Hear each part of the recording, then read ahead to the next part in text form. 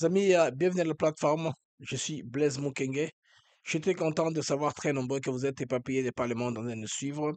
Nous allons répondre aussi à, une question, une thématique que nous avons voulu aborder aujourd'hui.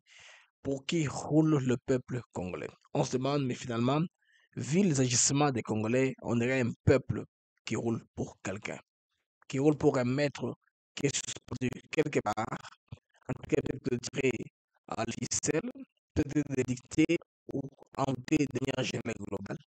Il ne sait pas qui c'est, vous. Le cas se demande finalement, Congolais, ce pays spéculatif ou un bien le donner pour garder. Comme on est là, et l'autre, bah si, si. C'est le cas figure à dans lequel nous sommes. Est-ce qu'on nous a prêté ce pays Est-ce que Basimbi biso ou c'est le pays des, Congolais euh, Pays de leurs ancêtres, Sushi de manière générale? Parce que, vu la RDC, certes, c'est un pays qui est au centre des intérêts croisés. Je voudrais un peu euh, parler des intérêts croisés pour vous mettre dans la perspective de ce que je voudrais aborder par rapport à la question que je me pose. Alors, je me demande aussi si on voit aujourd'hui le comportement à l'international c'est un des africain ou c'est un pays occidentaux euh, qui comprennent hein, ou qui interprètent Félix dit en lisant sa, sa, position par rapport à l'alignement comme une position mitigée, il y en a qui en profitent. Vous voyez par exemple, quand on parle dans un langage codé, les Français disent que la France est préoccupée par la situation qui se passe à Kanyabayonga. C'est que la France ne veut rien faire. Elle donne un signal, un message direct à M23 et au Rwanda des personnes avancées. S'ils disent par exemple qu'ils sont concernés par ce qui se passe, en réalité, ils demandent aux autres des Français d'avancer. C'est un message, c'est un langage codé d'un livre que la communauté nationale a écrit, euh, que seuls les initiés savent chiffrer, savent correndre. Quand euh, les Nations Unies vous disent, les euh, fonctionnaires utilisent certains langages qu'on appelle la langue des bois. En diplomatie, on ne parle pas de langage courant, potable, compréhensif. On parle généralement de la langue des bois. Une langue qui n'est pas compréhensible. Quand vous dites on est préoccupé, on est concerné, ça veut dire qu'on donne un code aux pays qui sont en conflit, ceux qui viennent en armes, d'avancer. Principalement ce que nous voyons. Maintenant, remarquez un peu, remarquez les amis, euh, depuis que cette guerre ici a commencé, plus de deux ans, on force le Rwanda par la M23 à prendre certaines villes clés pour faire fléchir le Congo, pour emballer Félix dans la négociation, comme c'était à l'époque de, de son prédécesseur Joseph Kabila. Alors tout cela se complique avec euh, la recomposition géopolitique. On veut se presser pour placer la carte, les cartes, je veux dire, avant que les choses aillent dans un sens ou dans l'autre. On peut occuper un pays, un peu, euh, avoir une position géostratégique des forces. Comme ça, on saura négocier ou on pourra carrément influencer ce pays-là à le joindre. Les amis, pour qui roulent les Congolais? Avant de poser cette question, il faudrait qu'on comprenne d'abord la définition du sens des intérêts croisés de la RDC. Intérêts réellement croisés, parce que la RDC, vous savez, sur le plan géographique, c'est un pays d'Afrique centrale, au cœur de l'Afrique. Euh, pour paraphraser un peu Franck Fanon, discours que le maréchal temps, euh, le Syrien, l'Afrique a la forme d'un revers dont la chaise s'est trouvée au Congo. Question de tirer le Congo, faire avancer le Congo et toute l'Afrique suit dessous. Il y a premièrement les pays africains, des pays qui entourent, les pays, pays voisins. Deuxièmement, la deuxième catégorie, nous avons des pays périphériques, pays de la périphérie. Et puis, en dernier lieu, nous avons les pays occidentaux, anciennes puissances, ou les superpuissances du monde, qui ont des intérêts avec, je, je pense bien, les richesses qui sont dans notre sous-sol. Ils ont besoin de nos richesses. Alors, ils procèdent par quelque méthodologie que ce soit pour parvenir à leur but. Nous sommes au cœur des intérêts croisés, des intérêts des pays limitrophes, des pays de la périphérie et enfin des puissances occidentales ou orientales, toute puissance qui émerge, toute puissance qui a atteint un développement ou une industrialisation à un certain niveau. Alors, vous voyez par exemple aujourd'hui, un pays comme le Congo-Brazza, des Sassou qui sera à Moscou. Congo-Brazza, c'est un pays, euh, l'ancien précaré de la France. Tout ce qui est Congo-Brazza, c'est la France. Partant du pétrole jusqu'à la logistique, de leur port à l'eau profonde de Pointe-Noire, ce sont les Français qui sont là. Et puis, les Brazzavillois ne font qu'étudier les services, les services. les Français font tout. Ils récupèrent le grand morceau avec la politique hein, de non-taxation. C'est-à-dire, quand une relation avec France, le pays décide pays, de payer taxes d'un côté, mais pas l'autre. Par exemple, les pays de la France, Afrique, les taxes sont payées à la France, pas en Afrique. vous comprenez que cela pose ainsi. Nous excusons pourquoi nos systèmes patogent comme ça aujourd'hui. On ne sait pas pourquoi. Bon, chez est réglé à les petits soucis qu'on a, mais ça semble revenir. Mais on va faire ça au fur et à mesure qu'on avance. Alors, il a intérêt, il je pense qu'il a trouvé, euh, il, avait intérêt à aller euh, coopérer avec Poutine. Peut-être que là de son côté a signé plusieurs accords. Pourquoi pas un accord militaire Parce qu'il sait qu'il venait d'être forcé de signer un accord. On lui a fait gober un truc. Une fois quand les Brazzavillois ont ouvert l'œil, ils ont commencé à crier, ah, ça le complique. L'affaire euh, de la cession, cession des terres en face des Maloko à Congo-Brazza, qui est donné au Rwanda. Aujourd'hui, les Brazzavillois exigent de voir la copie de l'accord. Qu'est-ce qui est écrit dans l'accord? Parce que les Rwandais chantent tout haut qu'ils vont venir à couper les terres, ils vont y habiter, ils vont développer, c'est très beau, c'est très bien. C'est à côté de Kinshasa, ils pourront même se développer. Kinshasa trouve que c'est une menace à sa sécurité. Alors, ce qui fait que maintenant, Brazza comprend que euh, une fois que j'ai tourné Kazakh à ce plan, ayant déjà consommé l'argent, les gens qui ont envoyé le Rwanda acheter ces terres-là, les gens qui m'ont convaincu acheter ces terres parce que Denis Sassou n'a pas fait ça de son propre chef. Bon, comme d'habitude, des contrats comme ça, juteux, il envoie son fils. C'est ce que les gens rejettent, peut-être que par défaut ou réellement, l'affaire sur le fils d'Eli, Denis Sassou Christelle Sassou. Alors, il, pense qu'il faut avoir un allié taille, un allié puissant, un pays qui est membre des conseils de sécurité, un pays qui est une puissance nucléaire. Nous pensons bien que le Congo-Brazza a raisonné bien que si il en arrivait au pire, au moins je serais protégé. J'ai un accord avec un pays qui est puissant, une puissance nucléaire, qui est membre du Conseil de sécurité des Nations Unies, au cas où ça barde. Il me met aussi en force, au cas où le Rwanda rentrait chez le maître pour crier. Vous voyez, Brazza commence à m'empêcher d'avancer avec mon plan? Imaginez, les amis, la profondeur de Kinshasa et l'est par lequel le Rwanda entend. Parce que euh, avec la FDL, la marche a fait moins d'une année, ils ont pris Kinshasa. Maintenant, voilà que avec la M23, ça fait deux ans qu'ils pataugent à peine à prendre Goma. Ce qui prouve que s'ils doivent, maintenant, avec tous les calculs stratégiques qu'il y a, chercher des marchés sur Kinshasa, même s'ils prennent les Nanga et compagnie, la synergie, ils vont, en tout cas, ils ne vont pas atteindre Kinshasa. Ils vont commettre tellement de dégâts que ce sera impossible. Alors, au lieu de, ne, de se retirer complètement ou de changer de plan, la communauté internationale préfère avoir les Rwandais, les bras armés du Rwanda, qui est les 23 en RDC. Comme ça, on va voir comment est-ce qu'on peut jouer. Peut-être que penser à une stratégie où on peut rapprocher le Rwanda de Kinshasa par l'accord de terre entre Congo, Brazza euh, et le Rwanda. Donc la fait de terre rapproche le Rwanda de Kinshasa. Alors, il y a terre, pourquoi pas à l'avenir euh, avoir une base militaire pour Kinshasa, pour déstabiliser Kinshasa.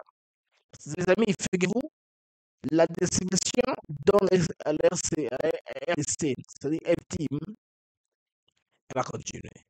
Le plan que vous n'avez pas les 7 milliards pour construire la rocade, les routes, tout cet argent-là va aller dans l'effort de guerre. Imaginez que vous avez à l'est de la République des soldats qui préfèrent vendre, parce que j'apprends maintenant que le mètre carré coûte autant. Le mètre carré coûte autant. Si je laisse autant d'espace j'ai 50 000 du coup. Mais pourquoi, pourquoi se battre? C'est pourquoi ils cèdent. Euh, ils cèdent le terrain, ils cèdent des villages, ils cèdent des, localités au profit du Rwanda qui donne l'argent. L'argent traverse directement de la frontière vers la RDC. C'est là pas un secret, tout le monde sait ça. Maintenant, on se demande pour qui roule le peuple congolais? Ça, c'est d'abord les soldats, en qui on voit une irresponsabilité notoire. Des, des, euh, des, des passés qu'on entend. On entend des choses qui sont insupportables. On entend des choses qui sont inimaginables. Vous voyez là, un soldat vient de mourir à Kisangani. Il est dans la queue en attendant l'argent parce qu'aujourd'hui, c'est les paiements. Alors, il faut attendre que ton argent passe. Le soldat était bancarisé. Alors, il était malade, il n'a pas eu une bonne prise en charge. Il est mort, il est tombé dans la queue, la ligne, hein, devant la banque qui s'engage. Donc, c'est passé aujourd'hui. Un soldat congolais est mort, il a eu une crise. Que tout ça, tous ces cocktails de malheur est en train de peindre un tableau noir. La stratégie qui est, qui est en place, la, la guerre sur laquelle une grande partie de la internationale s'appuie, c'est de décriminaliser Félix Sekedi dans les moyens du possible. Le peuple congolais bat Tomboka, que les marches commencent à Kinshasa. Le marche commence dans le pays, que les gens en un ras-le-bol. Bon, Félix Sekedi, il a hérité d'un ancrage d'un parti politique populaire qui a eu à son actif beaucoup d'années dans l'opposition. Ce qui fait que le peuple se retrouve en eux. Mais au fur et à mesure que cela continue et que l'argent qui devait servir à apaiser un temps peu le social du Congolais va à la guerre. Et puis, on ne vous pas carrément comme ça qu'il y a des gens qui quittent l'armée républicaine ou qui, faut, qui quittent les lignes normales du gouvernement politicien, qui rejoignent les rebelles, qui sont avec eux. Ce qui va faire que l'Est de la République d'abord aura trop de personnes qui dit et va déclarer une incapacité de faire quoi que ce soit. Cela pourra maintenant dégénérer, cela pourra être un élément déclencheur d'un désordre à l'interne. Quand le désordre vient à l'interne, donc là, les intérêts croisés dont je parlais ici, l'Occident vont marcher. Ils vont marcher. Ils vont demander aux collègues de s'asseoir, négocier, comme ça, le Rwanda a quand même une marge de manœuvre. Dans une grande partie de l'Est, pendant la décision, on va voir, ils vont pousser leur agenda de mettre les gens d'une certaine tribu, race, alors que le Congo est plus de 458, mais les Occidentaux voudraient que les Congolais acceptent l'inacceptable au nom de la paix. Et puis, les qui viendront, il y aura des gens qui seront considérés comme des pacificateurs pour avoir pris cette décision-là. Ils auront plus de publicité dans les médias occidentaux dans ce sens-là. Donc, c'est en train d'aller comme ça. Alors, pour qui roule les Congolais? C'est une question qu'il faudrait qu'on se pose pour tout comprendre en cherchant les éléments des réponses. Le peuple congolais est comme un peuple totalement, en tout cas, à 100% inconscient. On ne sait pas s'il comprend ce qu'il fait. Parce que le politicien qui entre au pouvoir, avec sa petite parcelle de pouvoir qu'il a, il ne voit pas le peuple d'abord. Il voit plutôt les comptes bancaires offshore à l'étranger d'abord. Ce qui fait que le peuple va moisir ici. Rien ne sera résolu. Imaginez, on ouvre un chantier. Si on ouvre un chantier, c'est un bon, une belle excuse pour sortir les fonds de l'État. Vous vous rappelez, il y a quelques semaines, je vous parler des chantiers des routes, surtout à Kinshasa. On va faire une route qu'on ne termine jamais. C'est que c'est une occasion pour sortir l'argent des caisses de l'État pour que personne ne se rende compte. On dit que l'argent va où? Parce que, de toute façon, la procédure de la Constitution de la route a respecté toutes les offres de marché en matière. Dans tout ce qui est classique en matière de routes, donc, c'était respecté. Maintenant, dès que le projet commence, il y a un décaissement qui rentre. Dès que les policiers maintenant se mettent, font troïka, ils s'entendent, ils, ils discutent sur un programme il, parle de la hauteur de la commission bien calculée, l'argent commence à rentrer. L'argent commence à rentrer. En lieu place de développer le pays, non, le pays ne se développe pas, les choses stagnent. Et les policiers maintenant qui sont en responsabilité, leur compte, leur influence monte de plus en plus. Il y en a qui vont chercher le clientélisme, acheter un maximum de Congolais, surtout les jeunes Congolais. Bakosomba est belé dans le mesure du possible pour pour les racenser. Donc c'est comme ça que les Congolais se comporter. Alors pour qui roule les Congolais, on ne comprend pas. Est-ce qu'ils roulent-ils pour une force obscure? Roulent-ils de manière spécifique pour les impérialistes? Parce que savez que Bangonde Bazali, ils ont les velléités colonisateurs. Ils veulent encore rentrer, nous recoloniser encore. Ils veulent que nous puissions penser comme eux, nous habiller comme eux, porter tous leurs noms complètement, ne parler que leur langue, réfléchir dans leur langue. Alors, ce qui fait que, de ce point-là, des vues, les Congolais, en tout cas, est l'ennemi à son propre développement.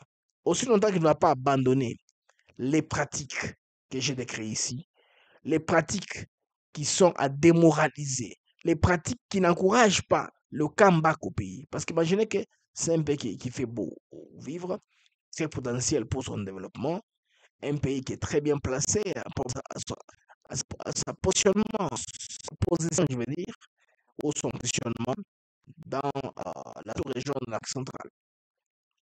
Imaginez que Kinshasa était une ville où la circulation est fluide. C'est la plus belle capitale l'Afrique centrale. Il suffit d'avoir une fluidité de transport. Les gens circulent librement dans Kinshasa. L'État, l'urbanisation, donc, précède la construction. Pas vice-versa. On urbanise, on lotit, on canalise, on met la tuyauterie, on met tout puis on construit. Si on fait ça dans 10 ans, nous allons dépasser d'autres villes que nous avons connues. Aujourd'hui, aller à Lagos, aller à Abuja, ils, ils ne sont pas ce qu'ils étaient il y a 15 ans. Aujourd'hui, regardez même leurs films. La vue aérienne d'un film d'il y a 15 ans et d'aujourd'hui, vous sentez une nette différence. Le Nigeria est allé très loin en avance. Ils ont fait tout ce qu'il faut faire. Voyez, c'est parce qu'il y a une sens de responsabilité. Les Congolais, quand ils sortent l'argent de la caisse de l'État, c'est pour remplir ses poches.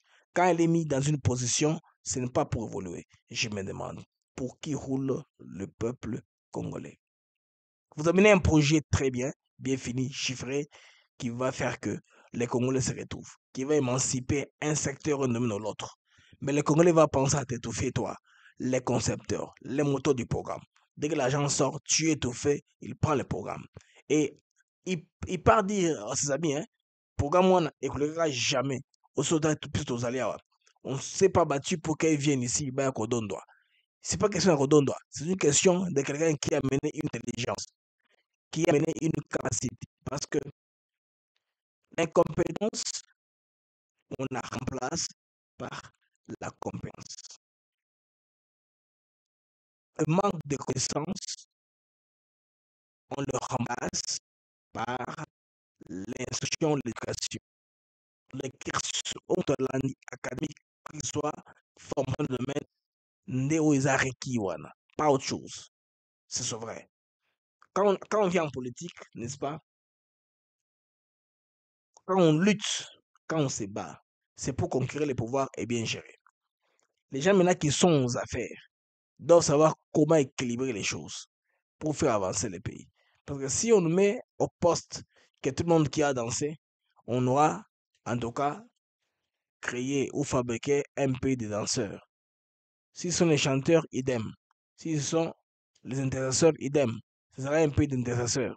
De la chose dans laquelle on s'est donné. Donc, euh, moi, je pense très bien que les bons sens à ce point-ci, devraient motiver les uns les autres. Chers Congolais, chers membres, euh, chers collègues, quittez les groupes armés. Mbosoko de Kwanga, ça. Il faut quitter les groupes armés.